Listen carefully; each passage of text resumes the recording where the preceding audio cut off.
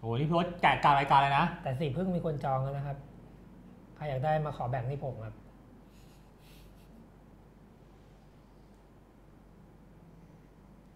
ในนี้มีไม้ด้วยนะจุนเนาะวันนี้แต่ผมจองสีพึ่งไว้หมดแล้วเราไม่รู้ว่าไม้อะไรเหมือนกันนะเพราะไม่เคยแกะเลย เจ้าของเนี่ย วันพระที่ตรงกับวันพุธนะเขาจะเอาน้ำมันน้ำมันจันทร์เนี่ยใส่ลงไป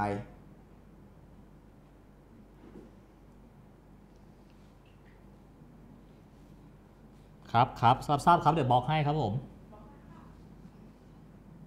บล็อกไปเล่นกองทรายข้างนอกนะพวกอย่างเงี้ยกินเยอะจังครับวันนี้ไม่เป็นไรครับพี่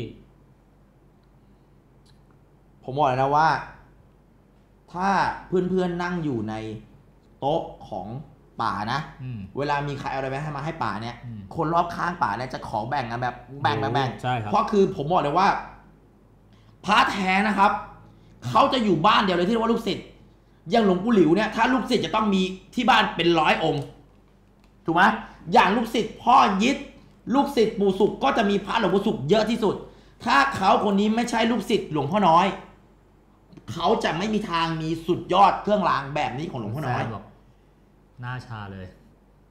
คือเสียดายด้วยครับเมื่อกี้พี่คุยกับเขาก่อนไหมเนี่ยใช่ระวังโหส่งโหระวังหักเหมือนกันเนี่ย ส่งไปดาวอังคารครับ โอเครับทราบครับ แก่แล้วผมจองตลับนะ อ่าโหคนจองสิบสิบครึ่งนี่เยอะเลยนะไม่ได้มีครับแค่ไม่ได้มีที่นี่นะครับ เฮ้ย ข้างในมีเม็ด มีเม็ดเหมือนเม็ดอะไร เหมือนเม็ดแร่วิเศษด้วยอ่าเดี๋ยวเดี๋ยวค่อยดูเดี๋ยวค่อยดู เดี๋ยวก็ดูว่ามีอะไรบ้าง ผมเนี่ยเล่นอะไรไปเมื่อพร้อมๆกับเพื่อนๆเลย มีหลายอย่างในนี้ ไม่ได้แค่มีวัวอย่างเดียวครับเอ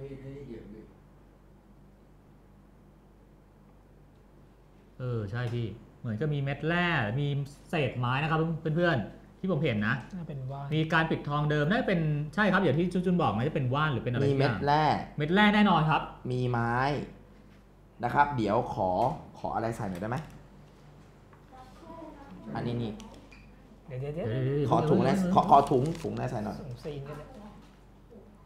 วางบนถุงก็ได้วางบนซีนอ่าจะได้จะได้จะได้เอากลับเข้าไปได้ครับ เพราะอันนี้เป็นของวิเศษนะครับ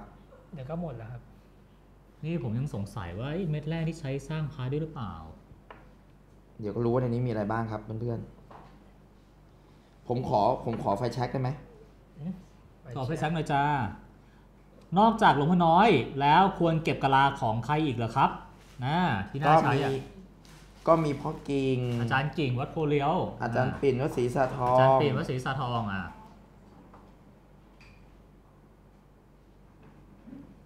กล้องไม่โฟกัสนะ อ่า อืมใช่ จุน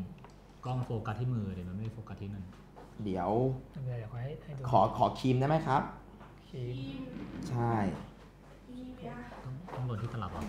ต้องลงที่ตลับครับ อืมนี่เรามาดูวิธีการนะฮะ ระวังข้างละลายนะ ไม่น่าละลาย ร้อนหึละลายด้วยเหรอไม่น่าละลาย เป็นข้าง ข้างแต่สีพึ่งต้องละลายก่อนข้างแน่นอน แต่ข้างเวลามันโดนร้อนๆมันละลายนะพี่จะนิ่มนะ ใช่ที่ตัวตลอดมีเวลามีมีโทรศัพท์ใครว่างไหมอะไม่เป็นไรครับ อันนี้ผมขอเรื่องนาพระโคสุดแล้วนะครับผม ขอไฟฉายหรืออะไรหรือโทรศัพท์ใครว่างวะใช่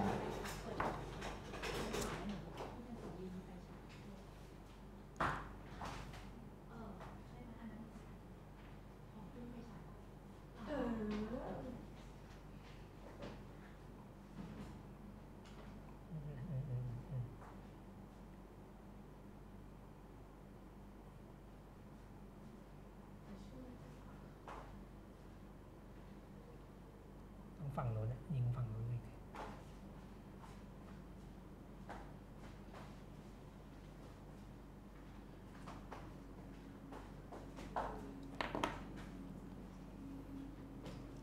เออพี่วดบัง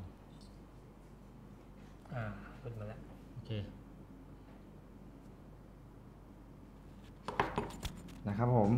ข้างในก็จะมีนะครับ ข้างในนี้ก็จะมี อุ้ย ร้อนครับ พี่บอกว่าสีของเขานะ ห ลวงพ่อลงโทษข้างในข้างข้างในจะมีจะมีปลาตะตะเพียนตะโอ้โหโอ้จะจองมีจองจองจองจะมีปลาตะเพียนเงินเฮ้ยเฮ้ยเฮ้ยโอ้โหนะครับ จะมีปลาตะเพียนทองเม็ดแร่วิเป็นเศไงษพิเศษนะครับ แล้วก็มี คล้ายๆกับไม้สาลิกาอืมอืมเป็นสาริกาพี่เป็นสาลิกาเป็นครัสาบริกาเป็นไม้เล็กๆกับเพื่อนๆครับ ครับ แล้วก็ปลาตะเพียนปลาตะเพียนปลาตะเพียนปลาตะเพียนเงิน มีเม็ดแร่ครับ ที่น่าจะกลัวอะไรเสียหายพี่โอ๊ตเดี๋ยวของเขาคือมัน โอ้โหนี่นะครับ เพื่อนๆส่องนะ วัวเนี่ยอยู่ข้างในเนี้ยจนจนมีมีเหมือนกับใยแมงมุมขึ้นแล้วครับผม ใช่ใช่เป็นใยเนี่ยครับ ตรงนี้ครับอืมอืมอืมเรียบดีๆคือต้องเห็นนิดๆหนึ่งค่ะล็อกล็อกล็อกโอ้โห ต้องบอกเลยครับว่าสั่งแล้วแอดมินดูอะไรครับครับเนี่ย อ่า ร้อน อะไร ครับแอดมินไม่ครับตุ้นเนี่ยเป็นขี้ผึ้งอืมเป็นสีผึ้งเพราะว่าคลั่งเนี่ยเขาแข็งมาก รู้สึกจะมีแร่ตรงข้างล่างอะพี่นะติดอยู่นะอืม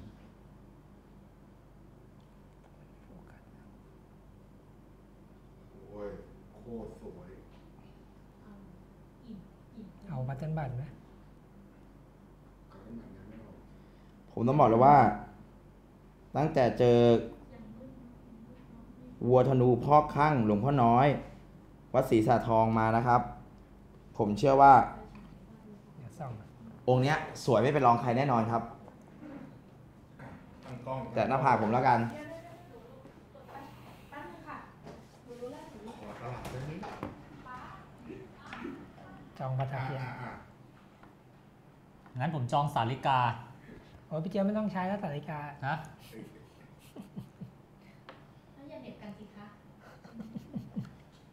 แอดมินก็ดูแอบดูอะไรกันอยู่แล้วเนี่ยแอบมองเธอนะจ๊ะ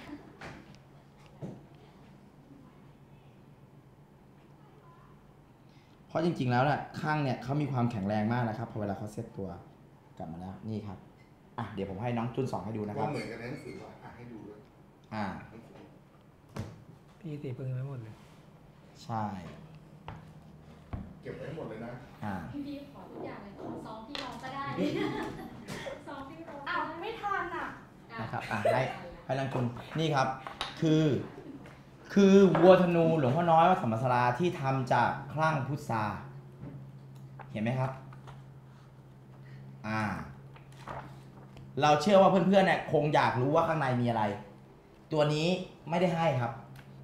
ไม่ได้ไม่ไม่ได้ขายครับ เดี๋ยวจะเอาไปเอ็กซเรย์มาให้ เพราะผมแกะเนี่ยผมอยากให้เพื่อนๆรู้ว่าข้างในจะมีอะไรบ้างปลาตะเพียนเงินถูกไหมครับครับไม้แล้วก็มีแร่วิเศษอยู่ก้อนหนึ่งครับนะฮะที่ฉ่ำเนี่ยเพราะว่าเจ้าของเนี่ยทุกวันวันเสาร์ที่ตรงกับวันวันพระตรงกับวันพุธจะเอาน้ำมันจันทร์เนี่ยหยอดลงไปที่บัวเลี้ยงเลี้ยงอ่านะครับ จองปลาตะเพียนครับ โอเคโห พี่ซองให้ได้เลยพี่ครับผมอ่าแต่ในซองก็มีสีพึ่งนะเนี่ยผมใช้สีพึ่งเนี่ยอารัธนาแต่หน้าผากก็ได้เฮงๆนะนะครับ โอเค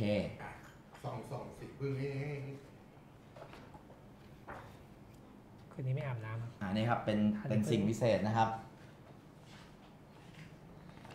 เอาเป็นที่เราสีขึ้นป้ายไปแล้วเลยจะไม่เอา นะใช่ครับป้ายลิ้นดีกว่าจุนต้องป้ายลิ้นอย่างเงี้ยกี่วันนี่ครับ คือวัววัวธนูใช่ไหมครับ ก็จะเป็นแบบนี้อ่าอะให้ดูเลยให้ดูเห็นไหมครับ ก็จะเป็นก็จะเป็นข้างพุทราเอาเมื่อกี้ไปไหนนะเห็นไหมครับตลับแบอะบนี้ตลาดที่อยู่ตรงนี้เห็นไหมครับ ก็จะเป็นข้างพุทราแบบนี้เห็นไหมครับเพื่อนทำไมมืด ๆอ่ามีการปั้นออกมืดมามืดไม่เป็นไรครับ เพราะว่าอย่างเงี้ยครับเห็นไหมฮะอ่าปั้นแบบเป็นงานแฮนด์เมดแต่เราต้องดูอายุของคลั่งเห็นไหมครับ ดูความเก่า อันนี้ถ้าส่องนะครับจะเห็นเลยว่าที่หน้าผากเนี่ยมีเหมือนมีหยักใยติดอยู่เลยเพราะว่าเห็นไหมครับต้องเอากล้องส่องจุดต้องกล้องสองเหมือนเหมือนเชื้อกล้องเหกล้มืองอนกล้องจุดต้องอ่ากล้องเหมือนกล้องเหมือนเหมือนเหมือนใยแมงมุม คือเหมือนเป็นคราบนะฮะราที่เกาะอยู่บนอเดี๋ยวไว้บนเราจะไปถ่ายสตูให้ชมอีกเดี๋ยวทีถ่ายสตูวันนี้นะรู้ครัสึบกจะมืดไปหน่อยอ่าถ่ายสตูนะครับ เดี๋ยวผมจะถ่ายสตูพรุ่งนี้มาให้ชมกันอ่าถ่ายสตูแล้วก็เดี๋ยวพรุ่งนี้ติดตามด้วยเดี๋ยวพรุ่งนี้มาให้ดู แล้วแล้วก็ต้องบอกเลยว่าอันนี้นะครับ แก่แล้ว นะครับ เดี๋ยวต้องเอาท่านกลับไปเลี้ยงในตลับสีพึ่งที่ใหญ่ขึ้น ครับ ขออนุญาตต้องเลี้ยงแบบนี้ครับผม แล้วก็เอาน้ำมันจันทร์หยอกให้ท่านเหมือนเดิมครับนะฮะหยอกให้ท่านเหมือนเดิมทุกวันพระครับที่ตรงกับวันวันพุพุธธ แล้วใช้เขาบอกว่า แม้กระทั่งเอาน้ำเนี่ย ที่ลาดจากโคนะครับ อืมลงไปนะ ครับ นะครับน้ำเนี่ยน้ำมนต์เนี่ยที่ลดลาดจากโคลงไปแล้วเอารองเนี่ย ถ้าเอามาทาตัวก็มีคุณวิเศษ เอาน้ำเนี่ยลาดจากโคสุภราชไปนะครับ ไปลดตามรั้วบ้านเนี่ยผีสางสิ่งชั่วร้ายก็จะเข้าไม่ได้อืมนั่นคือนั่นคือวิธีของการนะครับของอนุภาพของโคสุภราชมาดูรายการต่อไปกันเลยครับผมนี่น้องตั้ม